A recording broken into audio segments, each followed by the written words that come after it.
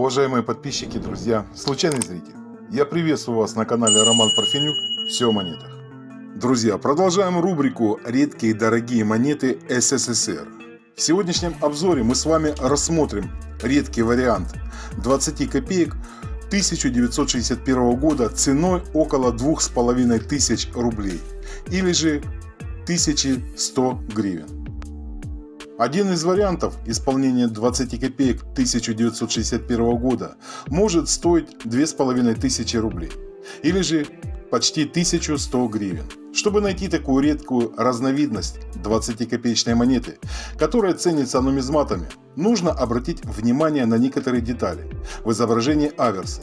Дело в том, что небольшая часть тиража 20 копеек 1961 года была ошибочно отчеканена с использованием штемпеля лицевой стороны от 3 копеек. Отличие такой 20-копеечной монеты от тиражных разновидностей проще всего заметить, если внимательно присмотреться к костям колосьев справа от звезды. У обычных 20 копеек так называемая гребенка этих остей имеет выраженный уступ а у редкой монеты ости в этом месте образуют ровную гребенку.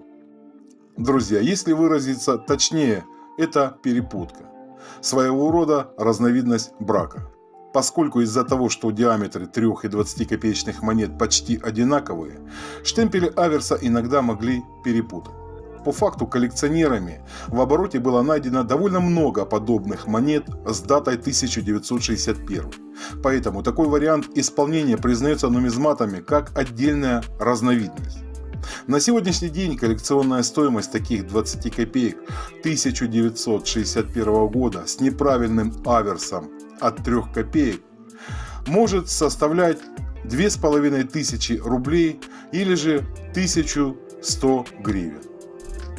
Друзья, если вам понравился этот обзор, я прошу поддержать мой проект лайком, подпиской. Если вы еще не подписаны на канал, подписывайтесь. Нажимайте на колокольчик, чтобы быть в курсе всех новинок и обновлений. На этом я буду заканчивать. С вами был Роман Парфенюк. Все о монетах. Всего доброго, друзья.